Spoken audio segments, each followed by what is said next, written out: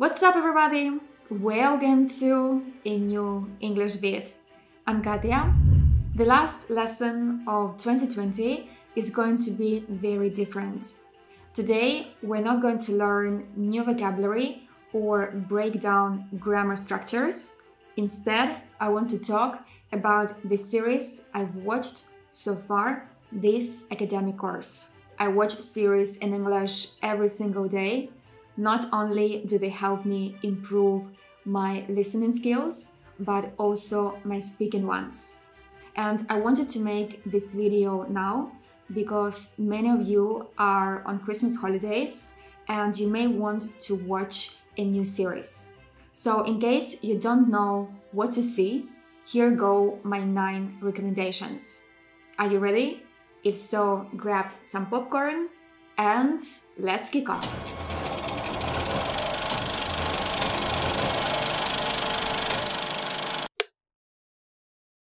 So the first series I watched back in September was Away. It's about a manned mission to Mars led by Emma Green, played by Hilary Swank. I've been always into space and NASA. I enjoyed watching movies like Interstellar, Arrival, Gravity, or The Martian. The idea that there is so much more beyond our planet gives me a kind of freedom and makes my daily problems seem insignificant in the grand scheme of things. The message I got from the series is that you need to fight till the end and never give up. As for English, I think it's a great series because here you can find both the American accent and the British one. I liked the series so much that I've seen it twice. So if space is your thing, I'm sure you'll like this series. After having watched Away, I saw Mars, which is a mix of fiction and a documentary. It was made by National Geographic and it's based on the book How We Live on Mars by Stephen Petranek. So, on the one hand, it's about a group of astronauts that land on Mars and about their problems and struggles to colonize the red planet.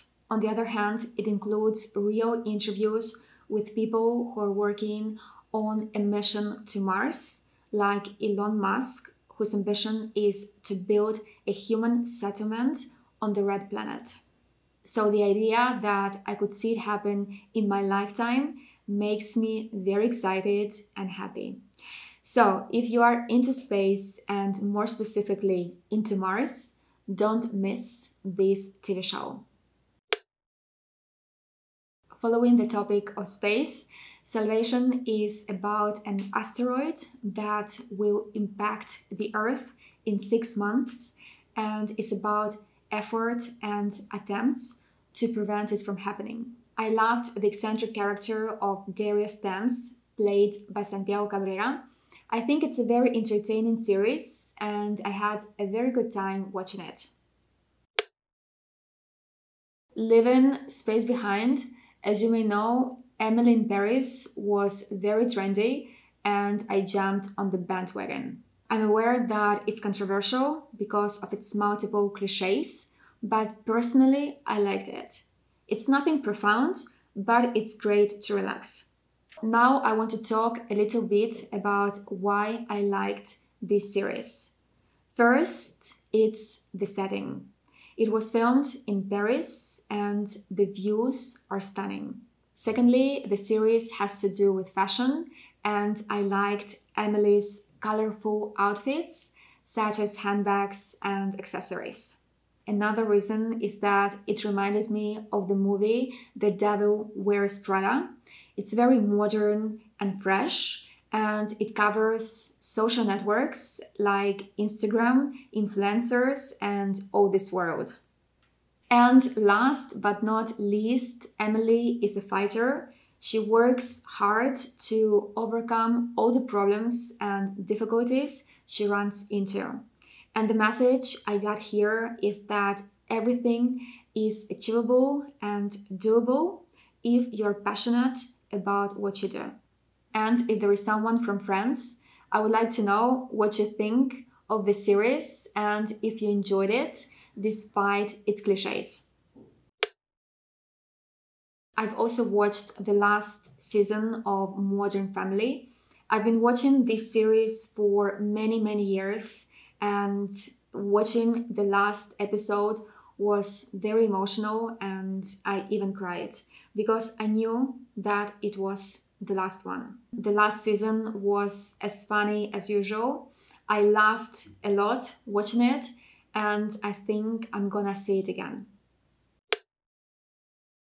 So, the fourth season of Somebody Feed Phil visits five places Rio de Janeiro, Mississippi Delta, San Francisco, Hawaii, and Singapore. From all these places, I've only been to Singapore, but it was very short because it was a layover when I was flying to Australia. So when the COVID is over, I would like to visit all these cities and try and sample its local cuisine. So, guys, if you love traveling and you are a foodie, don't miss this amazing TV show. This mini series is different and special.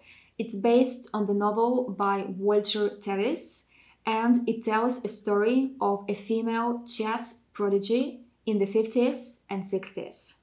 What I liked about the series is that it's thought provoking and it made me think about different things. One of them is that you need to pursue your dreams, that you can achieve anything regardless of your social status. And another thing is that everything is figure outable that you can overcome any problem you might encounter. And in this case, it has to do with getting over addictions. And one more thing, it teaches you that sometimes you need to accept other people's help and shows you the importance of working in a team. All in all, I think it's such an inspiring and brilliant story. I've seen the second season of Virgin River. I enjoyed this season as much as the first one. It's very sweet, the scenery is beautiful, and the actors are great. And I'm very happy because the third season is confirmed. So if you like love stories, I'm sure this series is your cup of tea. And last but not least, this Is Us. It took me a while to get around to watching this series.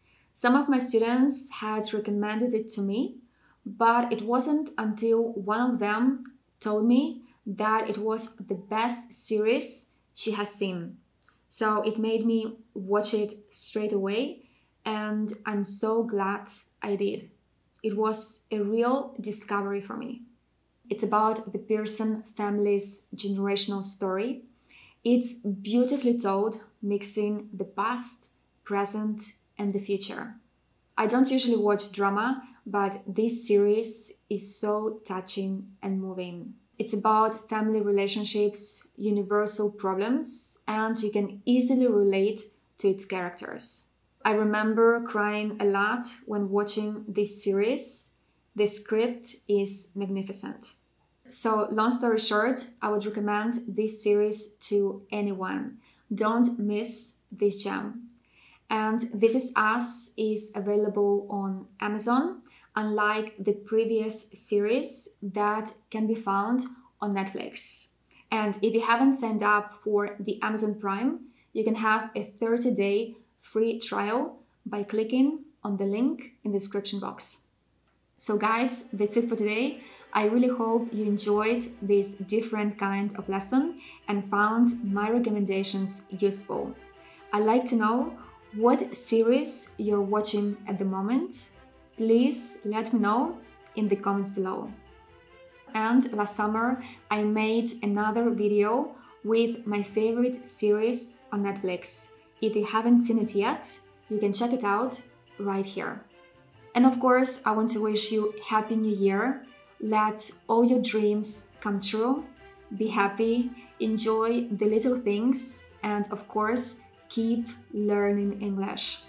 And please don't forget to give this lesson a huge thumbs up, to subscribe to my channel, and catch me on Instagram.